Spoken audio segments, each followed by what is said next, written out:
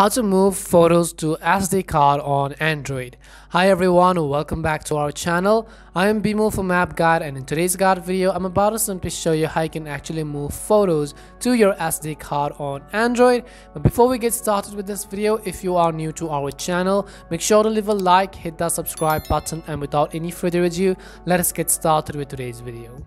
So first things first, let's say you have some kind of photos on your gallery on your device storage and maybe you want to transfer those photos to your SD card. So how do we go about doing that as well? In this video, we will simply learn how we could actually transfer photos to your SD card. You can see I also have an SD card inserted what you have to do is you have to simply first of all open the file manager application now on file manager your file manager will basically be divided into two parts. One is your device's storage and another is the sd card storage. So right here you can see the internal storage which is my phone storage. I have 128 gigabytes of storage.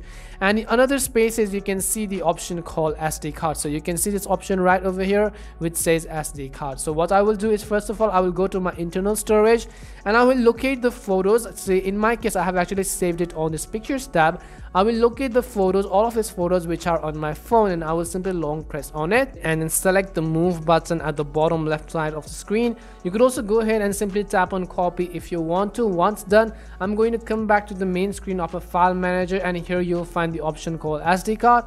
Simply tap on SD card and here again you'll find the option which says pictures. So I'm going to simply tap on pictures. Now it doesn't really have to be the same on your SD card as well. I will simply move all of those photos right on the screen. Once I do that, you can see all of these photos will be actually moved to my SD card. If you go to my SD card and see all of the pictures are now transferred to my SD card and this is basically as simple as how you can move photos to your SD card from Android. We hope this video was really helpful and if it did help you, make sure to leave a like and subscribe to the channel. If you have any more questions, queries or doubts, simply make sure to also leave them down in the comment section. Thank you very much for watching and see you soon in our next video.